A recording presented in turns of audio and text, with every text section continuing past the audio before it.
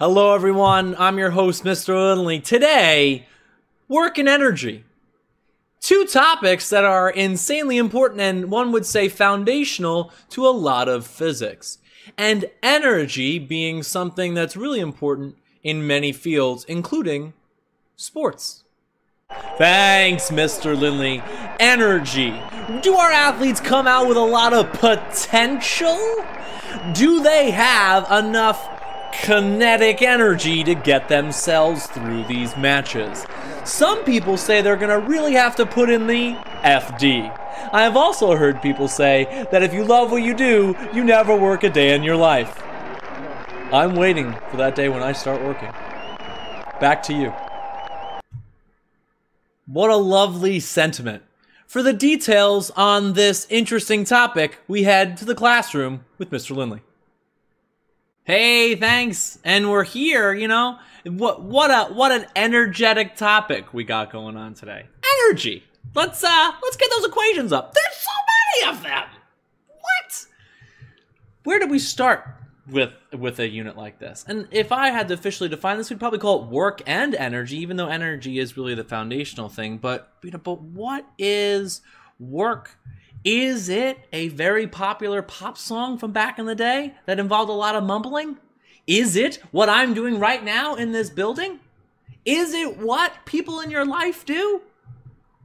Yes, but not this one.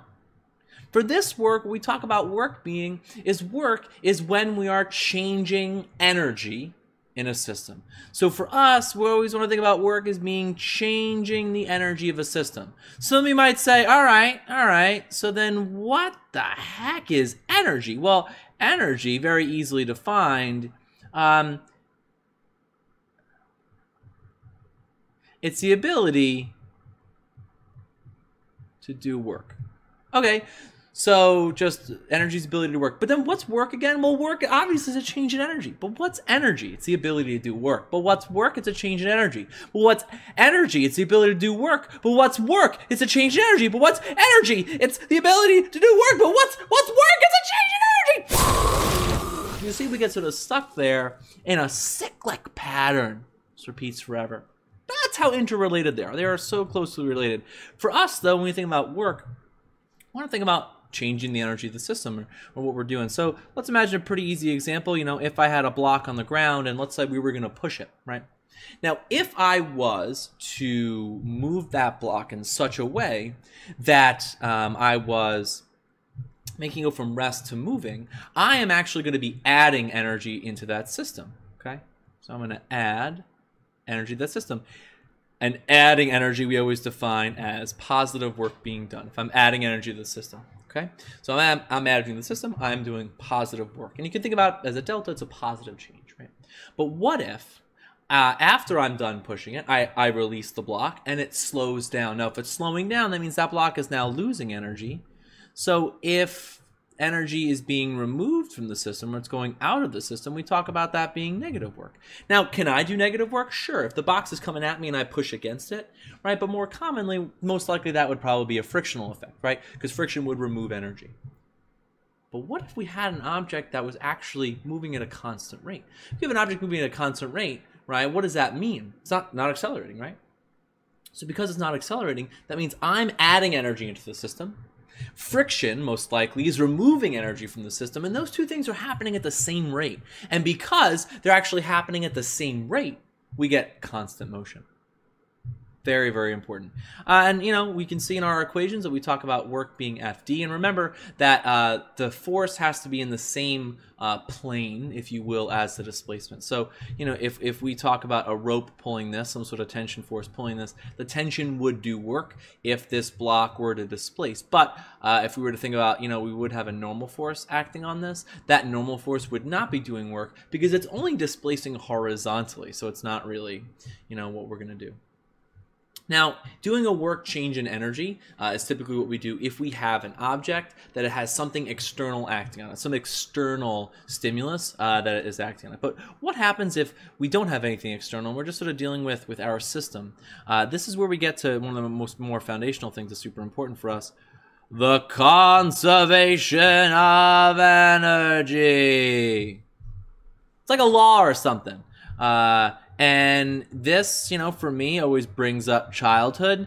E I E I F, cause in the beginning it's the initial energy, and then in the end it's the final. Funny, right? Okay!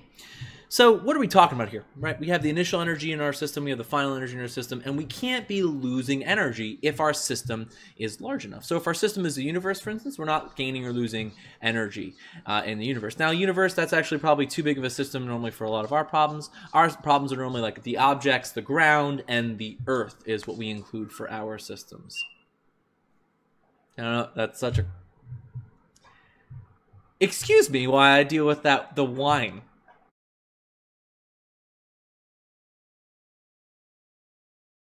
And we're back.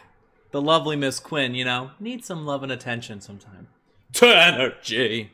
We got conservation of energy. So if my system is big and it's all the things, I'm not going to lose it. Now, if I have one singular object, that object is going to gain and lose energy to other objects around it.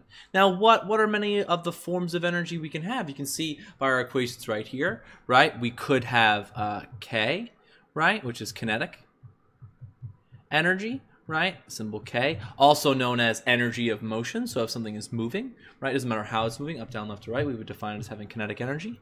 Uh, we could uh, have, um, geez, gravitational uh, potential energy, and the symbol for this is UG, and that is anything above uh, sort of a base level that's set by us. Typically, the ground is what we use, right? Anything above that level uh, would have gravitational potential energy, right? You can see the equation there, um, dictated by by you know mass, obviously. So more massive things would have more potential uh, gravitational potential energy, right? Uh, and then uh, last one we had uh, was we talked a bit about springs, right, or elastic potential energy, and this is US right?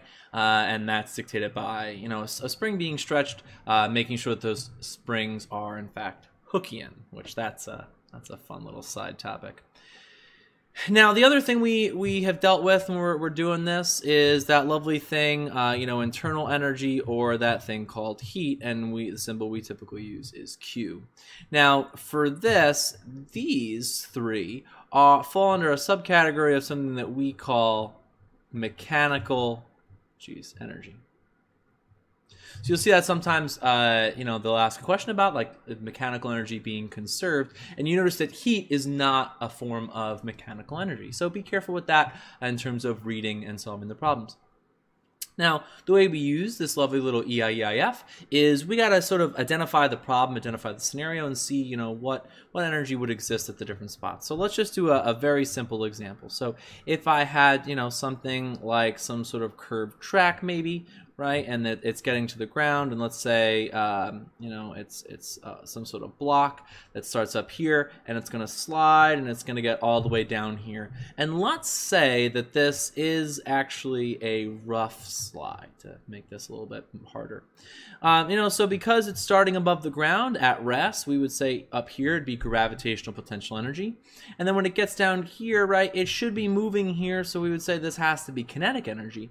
But because it's also a rough surface, we're also actually going to have heat now that is generated as well. So I'm going to get kinetic energy and heat. Now, if I wanted to solve this, because if my system is more than just a block, if my system is the block on the ramp and the world, if I was going to set this up to solve this, EIEIF, because in the beginning it's all gravitational potential, and then it becomes kinetic plus heat and I can use that to solve depending on what they're asking me to do. Are they asking me for the height of the ramp? Are they asking me for the speed at the bottom of the ramp? It really depends on on the given given scenario.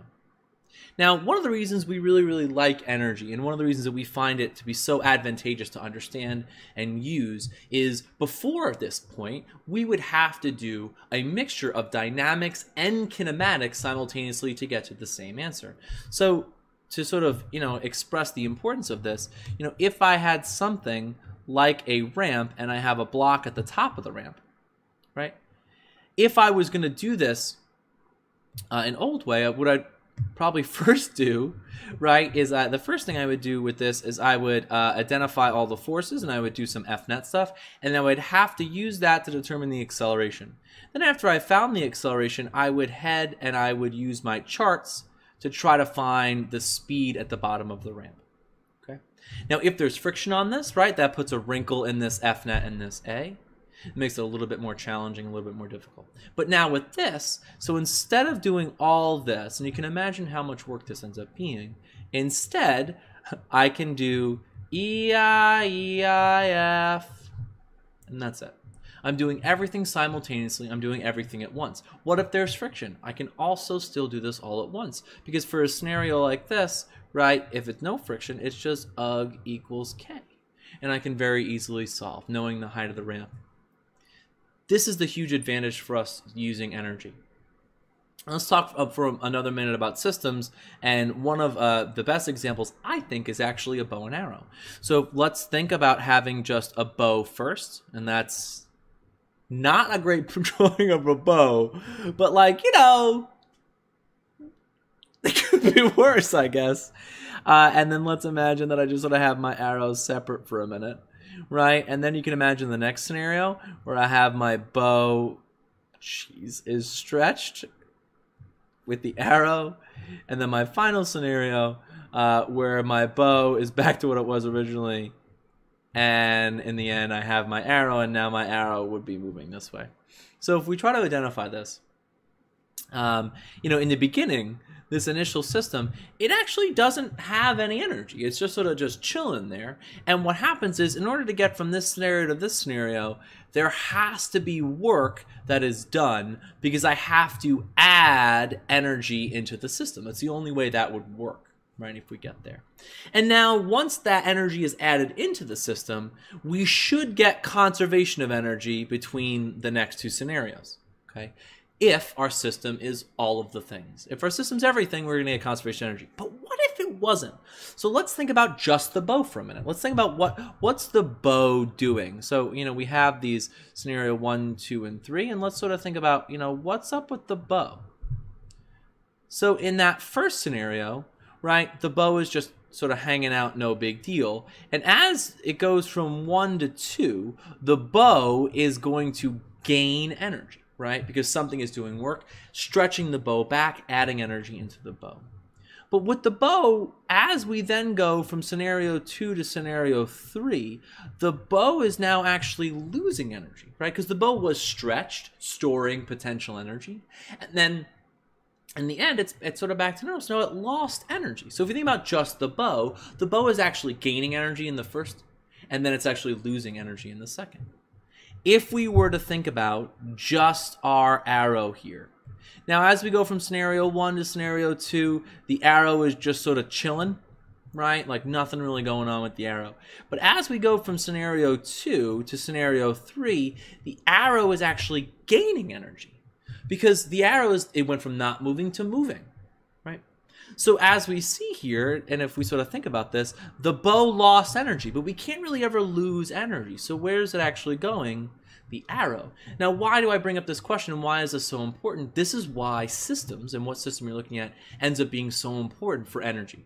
If we're talking about all the stuff ever, EIEIF, no big deal, move on with our lives. But if we're talking about one singular object and there are external things acting on it, we're going to have to be very, very careful with our definitions. The bow here is gaining and then losing energy. Uh, the arrow is, is just gaining energy important things uh, and you know energy is a wide topic that covers many many things but it's a great overview. So uh, smash that like and subscribe. Is it here? Is it here? I still don't know! And until next time thanks for watching